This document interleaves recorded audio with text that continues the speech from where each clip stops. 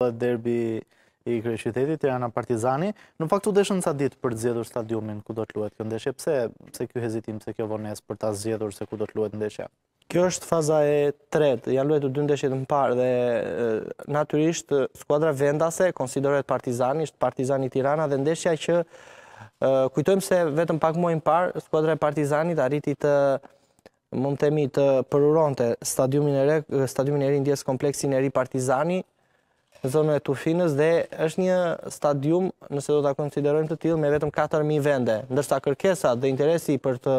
ndjekur derbin ka qenë tepër i lartë nga tifozeria, gjë që ka vënë në dyshim së pari sigurinë, së dyti por dhe numrin e ulët të të ndenjëseve, mund të themi, ku janë vetëm 4.000, krahasuar me Air Albania që janë 22.500. Gjë që do të thotë pra duke parë numrin e lartë të biletave, duke parë se duhen shumë efektivë policie, duke parë gjithashtu se, se zakonisht në derbi Renaldo bëhen hyrje të ndryshme të tifozerive, ndërsa në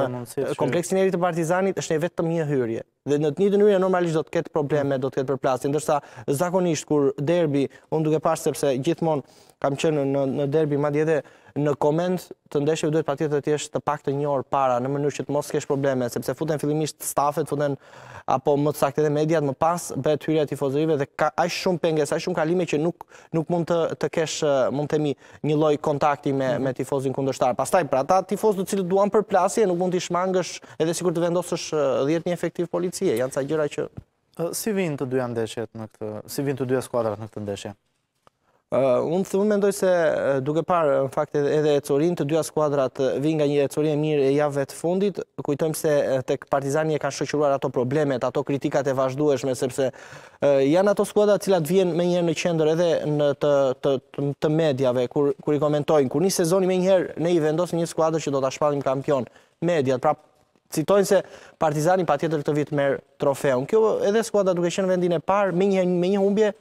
nisnin sulmet, nisnin kritikat, edhe mediat për të krijuar ndoshta edhe edhe lajm, siç zakonisht në fakt ajo është detyra jonë, edhe ka qenë edhe drejt sepse me një trajner si Giovanni Colella që vazhdimisht në në në atë pikë ku mund të vinte kthesa apo ku mund të vinte shkëputja nga Tirana aty aty dështonte. Dhe bardheblutë të kujdesshëm me me trajnerin Orges Shehi që e njeh mjaft mirë frymën edhe jep një frymë të jashtëzakonshme skuadrës, arrinte të merrte pikë duke mos lejuar distancimin e tyre. Në javët e fundit kanë arritur të të marrin Fitore edhe pse skuadra e Partizanit disi më e luhatur përgjatë kësaj pjese, aktualisht duke u luajtur faza e tretë e Superligës Shqiptare, por ajo që ka mbetet për të përmendur është se në derbi nuk vlejnë. Do me thënë, deri në ndeshjen dhe deri ditën e sotme vlen të përmenden shifra, statistika dhe gjithçka tjetër, nga nesër, derbi është gjithçka tjetër është një faqe e re. Që normalisht për të parashikuar apo për të pasur një ide se kush skuadër do të fitojë është. Shumë e vështirë. Ti përmende pak interesin e tifozëve, gjithmonë derbit janë shumë, po themi, tifozët janë shumë të interesuar për të ndjekur derbin, sidomos Tirana Partizani. Po në këtë ndeshje, Pa dyshim. Ka patur interes të lartë të tifozëve për të qenë pjesë e ndeshjes? Një interes goxha i lartë. Madje, ka nisur shitja e biletave që disa ditë më parë, bëjmë me dije se Nëse s'gaboj deri në ditën e djeshme ishin shitur më tepër se 4000 bileta, sigurisht mbetet dhe dita e sotme, po ashtu për të vijuar dhe nesër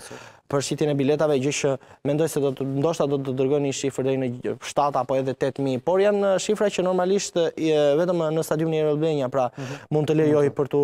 zhvilluar përballje të tilla, ka pasur vërtet interes, madje edhe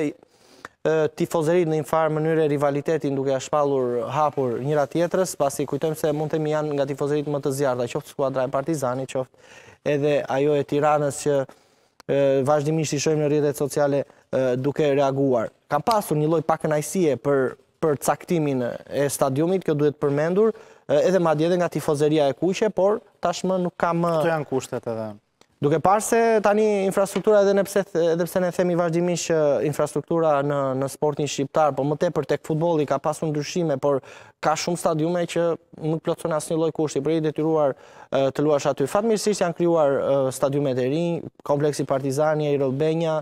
mund të themi edhe stadiumi i Kukësit, Loro Boriçi, pra apo edhe planet për të sjellë tre stadiume të rinj, mendoj se deri diku ka sjellë ka sjellë një lloj përmirësimi, por prapë mbetemi Pas, siç e dimë Renaldo është Kosova që ngjitet dhjetë vende duke na lënë neve pas Superliga e Kosovës me kampionatin shqiptar.